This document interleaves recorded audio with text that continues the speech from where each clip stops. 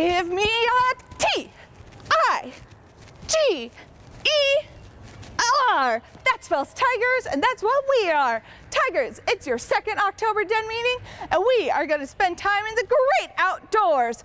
But first, we have to do our pledge, oath, and law. So let's get to it. We're going to start with the Pledge of Allegiance. First, we're going to do the Cub Scout salute. Take two fingers and take it to your eyebrow. If you aren't in uniform, you can take your hand, your right hand, and put it over your heart. Since both Ben and I are in uniform, we're going to do the Cub Scout salute.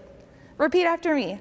I pledge allegiance I pledge allegiance to the flag to the flag of the United States of America of the United States of America and to the republic and to the republic for which it stands, for which it stands, one nation under God, one nation under God, indivisible, indivisible, with liberty and justice for all. With liberty and justice for all. Great job. You can take that salute down. Next, we're going to do our scout oath and our scout law. But first, we're going to need to do our scout sign. Take two fingers and put it all the way up. We're going to do our scout oath first. Repeat after me.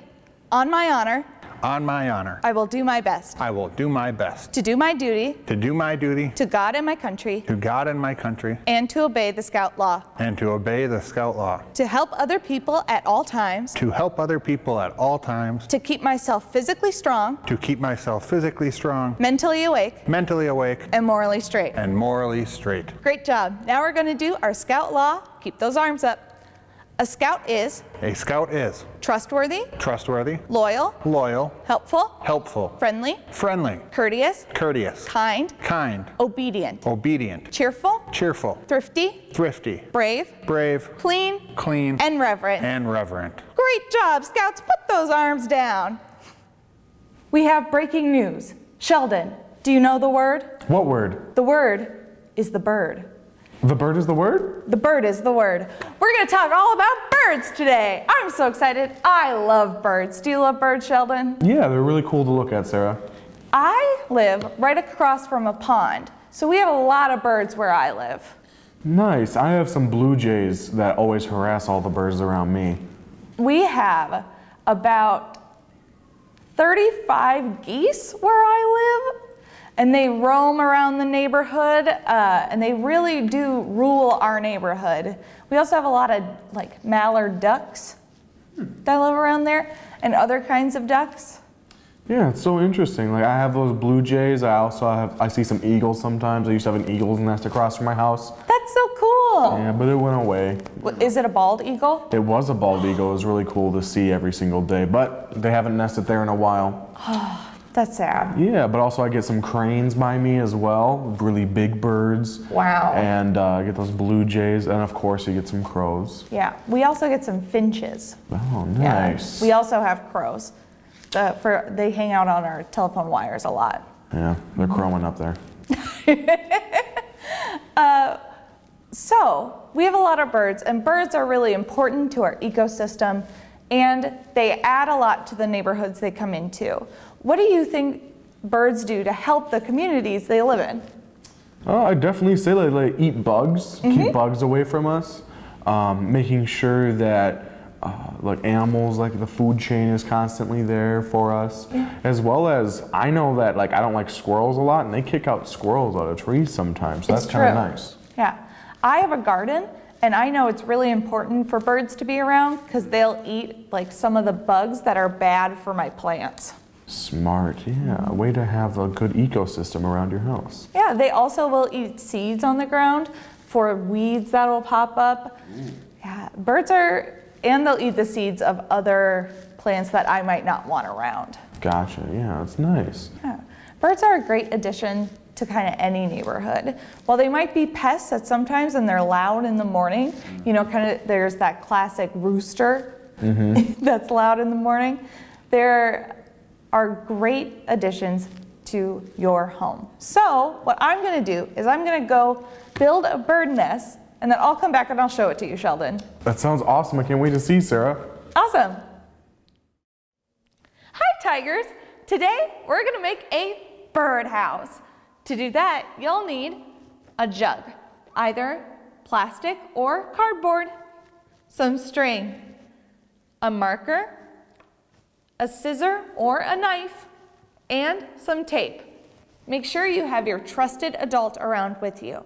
We want to make sure that you're being safe while you use your scissor or your knife. You might also want some seeds to put in your birdhouse. Let's get started.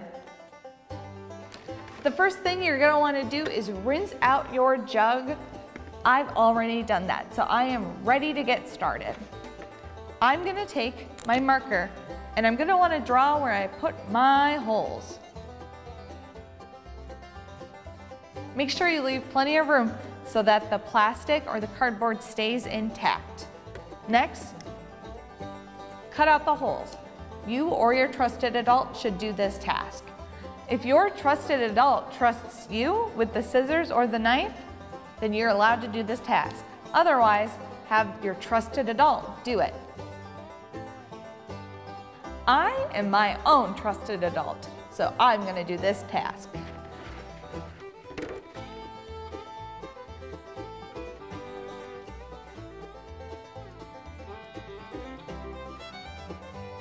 Now that you have cut your holes out, put some tape around them to make sure that they don't hurt the birds or yourself because they're kind of sharp.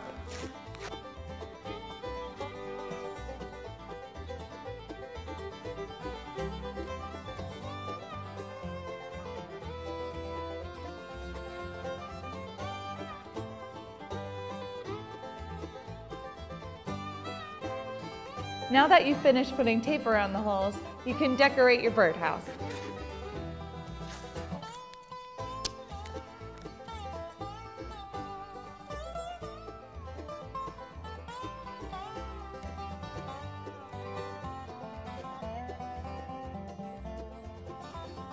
I use tape to decorate my birdhouse with stripes. Can you guess why?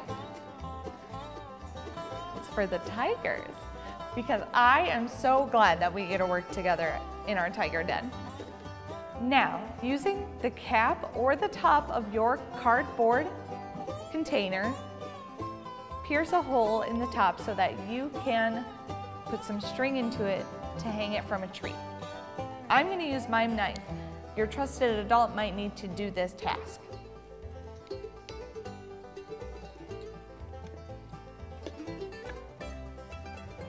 Now, I'm gonna take my string that has even more stripes and put it and make a loop that goes through my cap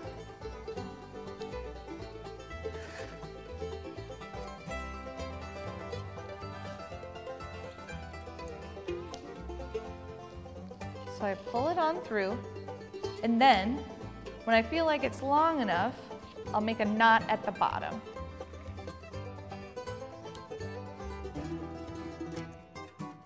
I'm gonna tie a square knot.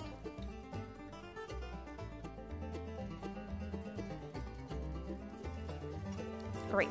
I'm gonna put the cap back on, make sure I tuck those strings in.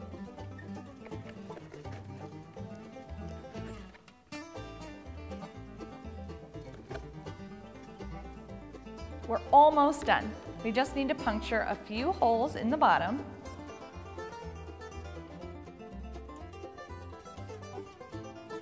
And there you go, tigers. You've made your very own birdhouse. You can put some seeds in it if you would like to entice the birds to come to the birdhouse.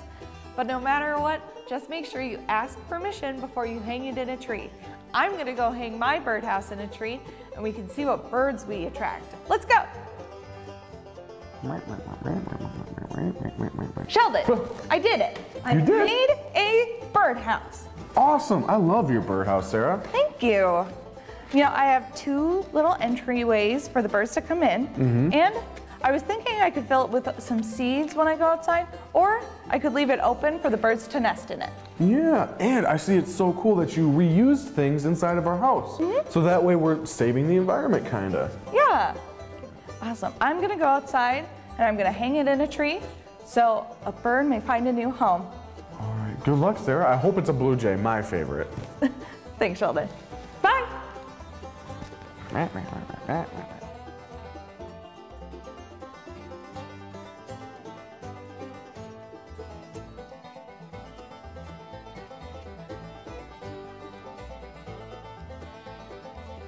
Be sure to check on it often and see how many birds are nesting in your home that you've made them. Thanks for joining me on my bird-tastic adventure today, Sheldon. Thanks for inviting me. It was been real fun to fly in. Thanks. We are so glad that you could join us this October. In November, we're going to talk about community and how we can build community together. We hope to see you then. Bye, Tigers.